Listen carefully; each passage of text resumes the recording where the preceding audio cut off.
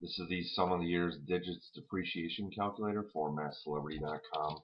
To get there, you type sum of the years digits depreciation method, and that's on our menu at the top. So go ahead and click the calculator link. So we've got five input boxes on the calculator, and the way this works is you enter what you know, and the calculator will attempt to see if it can solve for the other items. So we're going to go ahead and solve for two out of the five today for today's video. So the first is let's solve for depreciation. So whatever you want to solve for, you leave it blank. So we go ahead and press the button. So we've got an asset value of 10,000 with a salvage value of 1,000 at time 5. We're going to calculate the depreciation charge and the book value. Now, notice book value is not listed here, but we always calculate that if we can. So we first calculate the sum of the first five integers.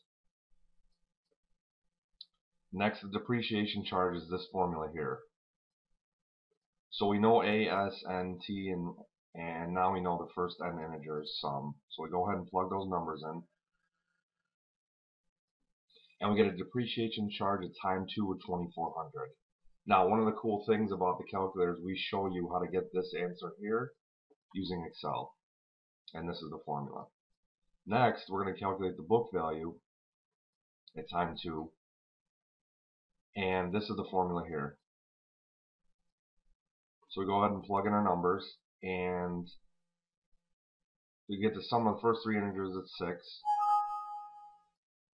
So the book value formula is here. We plug in what we know, evaluate, simplify, and we do get 4600 book value at time 2.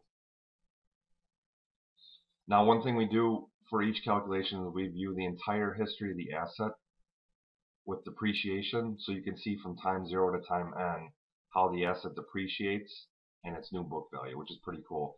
And whatever time you choose we highlight in red to show you what the values are at that point in time.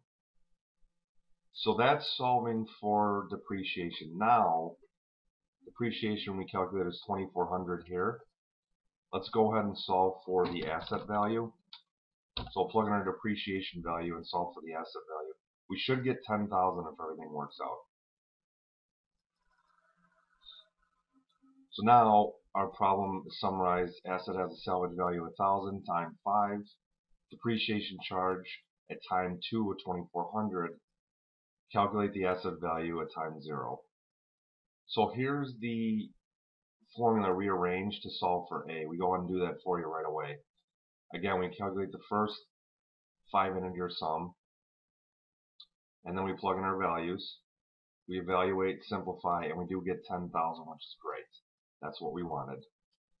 So next is calculate the book value at time 2. Again, we just did this last time, so I'll just run through this fairly quickly. And again, the book value is 4600 And finally, our chart, depreciation and book value. So that's it. If you do have any questions or enhancement suggestions, as always, use the Contact Us link. Thanks for watching.